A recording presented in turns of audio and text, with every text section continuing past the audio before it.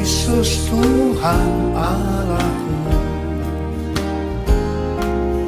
Tak seorang pun datang pada Bapa. Hanya melalui dia. Yesus naik ke surga Sediakan tempat bagi kita segera datang menjemput umatnya Dalam kemuliaannya. Haleluya. Amin. Haleluya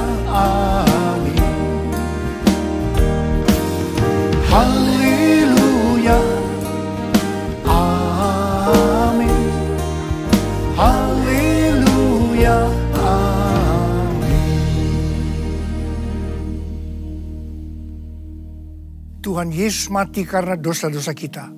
Dia dikuburkan, tapi pada hari yang ketiga dia dibangkitkan. Tuhan Yesus benar-benar bangkit dan hidup. 40 hari setelah kebangkitannya, dan setelah berulang-ulang menampakkan diri kepada lebih dari 500 murid-muridnya, maka dengan disaksikan oleh murid-muridnya, Tuhan Yesus naik ke surga. Pesan yang terakhir dari Tuhan Yesus kepada murid-muridnya, seperti yang terdapat dalam kisah para rasul pasal pertama ayat 8. Tetapi kamu akan menerima kuasa kalau roh kudus turun ke atas kamu. Dan kamu akan menjadi saksiku di Yerusalem, di seluruh Yudea dan Samaria dan sampai ke ujung bumi. Setelah itu Tuhan Yesus naik ke sorga. Apa yang Tuhan Yesus lakukan di sorga?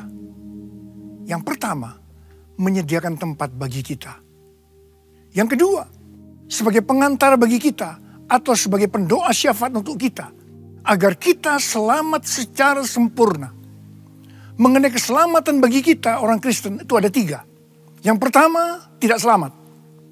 Yang kedua, hampir-hampir tidak selamat. Dan yang ketiga, selamat secara sempurna. Tuhan Yesus mau agar kita selamat secara sempurna. Apa yang Tuhan Yesus lakukan di sorga? Yang ketiga, meminta kepada Bapa untuk mengutus roh kudus. Peran roh kudus bagi dunia. Roh kudus akan menginsyafkan dunia akan dosa, kebenaran, dan penghakiman. Peran roh kudus bagi kita. Roh kudus akan menjadi penolong dan penghibur dan menyertai kita selama-lamanya. Roh Kudus akan memimpin kita dan seluruh kebenaran. Roh Kudus akan memberitahu hal-hal yang akan datang. Roh Kudus akan memuliakan Yesus. Sebab Roh Kudus akan memberitahu kepada kita apa yang telah diterimanya dari Tuhan Yesus. Roh Kudus memberikan kuasa kepada kita untuk menjadi saksi Yesus. Setelah Tuhan Yesus ke sorga, 120 murid-murid Tuhan Yesus berkumpul di kamar loteng di Yerusalem. Mengapa mereka melakukan ini? Sebab Tuhan Yesus berpesan bahwa mereka harus tinggal di Yerusalem sampai mereka diperlengkapi dengan kekuasaan dari tempat tinggi. Tuhan Yesus berpesan kepada lebih dari 500 murid-muridnya. Tetapi yang meresponi hanya 120 murid. Saya berdoa supaya setiap kita termasuk yang 120 murid-murid itu. Apa yang dilakukan oleh 120 murid-murid Tuhan Yesus? Mereka semua bertekun dengan sehati dalam doa bersama-sama. Artinya mereka berdoa, memuji, menyembah Tuhan dalam unity siang dan malam. Ini adalah restorasi pondok Daud. Ini adalah menara doa. Sepuluh hari setelah itu, pada hari raya Pentakosta, terdengarlah dalam ruangan itu suatu bunyi seperti tiupan angin keras dan tampaklah lidah-lidah seperti nyala api yang bertebaran dan hingga pada mereka masing-masing. Mereka dipenuhi dengan roh kudus dan mereka mulai berkata-kata dalam bahasa roh. Setelah itu mereka dipakai menjadi saksi Yesus. Banyak orang-orang diselamatkan dan penuaian jiwa terjadi. Dalam kurun waktu 100 tahun, 70% dari dunia yang dikenal pada waktu itu, yaitu daerah-daerah yang termasuk dalam wilayah kekaisaran Romawi menjadi Kristen. Ini adalah Pentakosta pertama.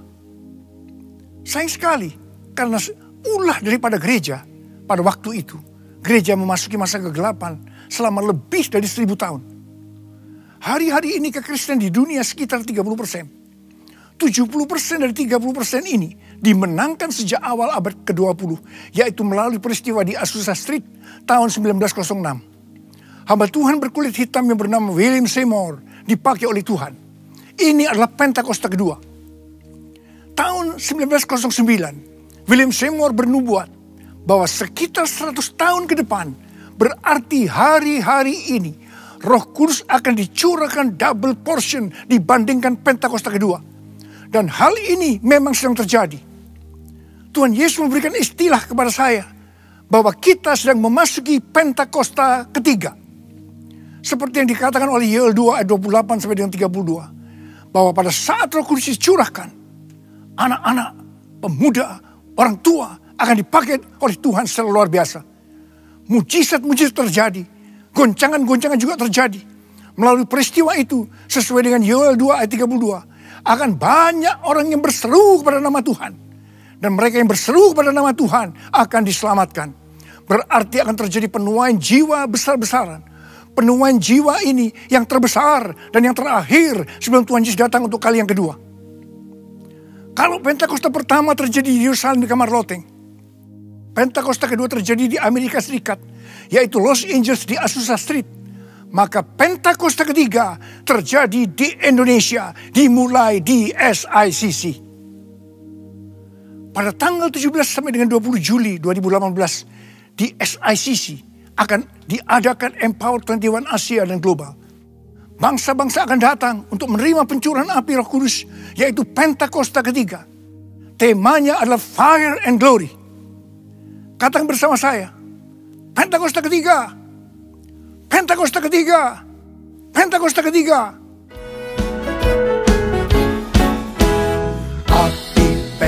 Pentakosta menyala. Api Pentakosta menyala.